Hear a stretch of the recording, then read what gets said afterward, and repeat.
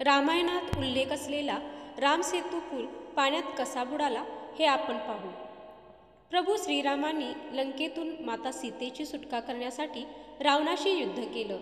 यावेळी लंकेवर कूच करण्यासाठी त्यांनी वानरसेनेच्या मदतीनं पूल बांधला जो रामसेतू नावानं ओळखला जातो. पाण्यात तरंगणाऱ्या दगडांचा वापर करून हा पूल बांधण्यात आला होता. पूल बांधण्यासाठी हे दगड दुसऱ्या ठिकाणाहून आणले होते. ज्वालामुखीचा प्युमिस्टोन हा पाण्यात बुडत नाही. त्यामुळे हा दगड रामसेतू बांधण्यासाठी वापरण्यात आला होता असं अनेक तज्ज्ञांचं मत आहे. रामसेतू बांधण्यासाठी वापरण्यात आलेल्या दगडांसारखे दगड देशात काही ठिकाणी संग्रहित करून ठेवण्यात आले आहेत. असाच एक दगड उत्तर प्रदेशातील बरेली येथील अलकनाथ मंदिरात पाण्यात तरंगत आहे.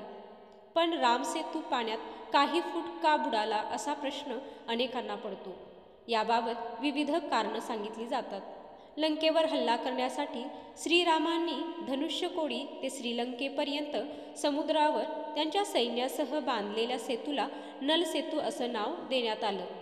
वास्तविक हा पूल वानरांनी नलाच्या देखरेखीखाली पंधरा दिवसात बांधला होता. त्याचा उल्लेख वाल्मिकी रामायणामध्ये आहे. तीन दिवस शोध घेतल्यानंतर श्रीरामांना रामेश्वरममध्ये पूल बांधण्यासाठी समुद्रात एक जागा मिळाली जिथून श्रीलंकेला सहज जाता येणं शक्य होतं. त्यानंतर नल आणि नील यांच्या मदतीनं त्या ठिकाणहून लंकेपर्यंत पूल बांधण्यास सुरुवात झाली. वास्तविक धनुष्यकोडी हे भारत आणि श्रीलंका या दोन देशांमधील एकमेव ठिकाण आहे जिथे समुद्राची खोली नदी एवढी आहे.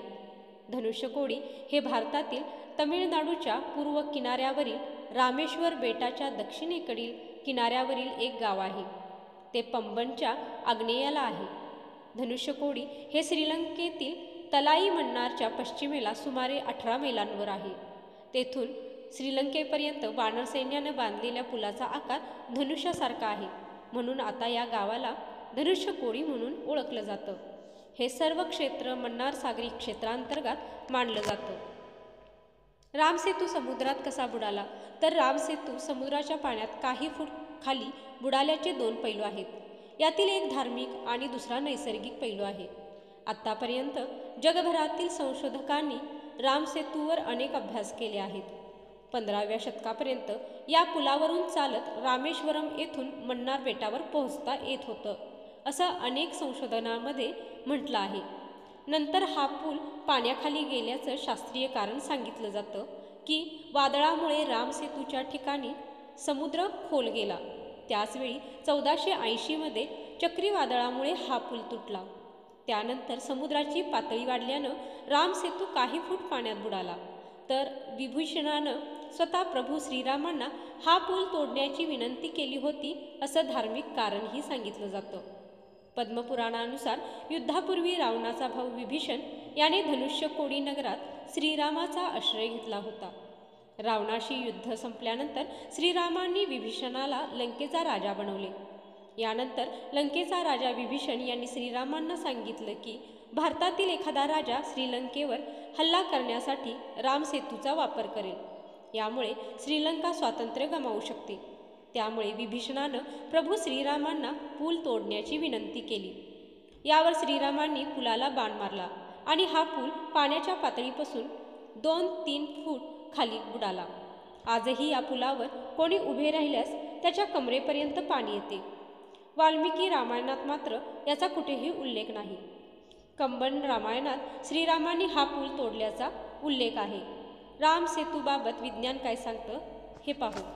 एकोणीसशे त्र्याण्णवमध्ये यू एस स्पेस एजन्सी नासाने श्रीलंकेच्या वायव्येकडील धनुष्यकोडी आणि पंबन दरम्यानच्या समुद्रात अठ्ठेचाळीस किलोमीटर रुंद पट्टी असलेल्या भूभागाची जागतिक उपग्रह प्रतिमा प्रसिद्ध केली होती.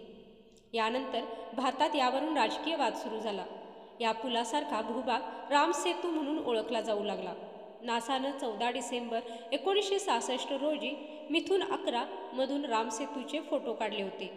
बावीस वर्षांनंतर आय ए एस वन एला तामिळनाडूच्या किनाऱ्याजवळील रामेश्वरम आणि जाफना बेटांमध्ये समुद्राखाली एक भूभाग सापडला. मग त्याचे फोटो काढले.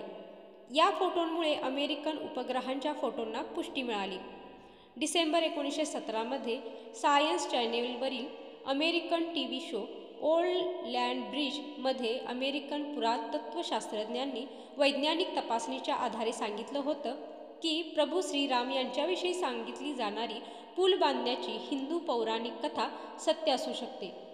भारत आणि श्रीलंका दरम्यानची पन्नास किलोमीटर लांबीची रेषा खडकापासून बनली आहे. हे खडक सात हजार वर्ष जुने आहेत. त्याचवेळी ज्या वाळूवर हे खडक आहेत ती वाळू चार हजार वर्ष जुनी आहे. नासाच्या उपग्रहाने घेतलेले फोटो आणि इतर पुराव्या पुराव्यांवरून तज्ज्ञ म्हणतात की खडक आणि वाळूच्या युगातील या विसंगतीवरून हे स्पष्ट होतं की हा पूल मानवांनी बांधला असावा. दरम्यान सर्वप्रथम श्रीलंकेतील मुसलमानांनी या पुलाला आदम पूल म्हणायला सुरुवात केली तर ख्रिश्चनांनी त्याला ॲडम्स ब्रिज म्हणायला सुरुवात केली. तुम्हाला राम सेतू पुलाबद्दलची माहिती कशी वाटली ती कमेंटमध्ये लिहा.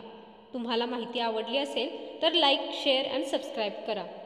श्रीरामांना मानत असाल तर जय श्रीराम लिहायला विसरू नका. व्हिडिओ पूर्ण पाहिल्याबद्दल धन्यवाद.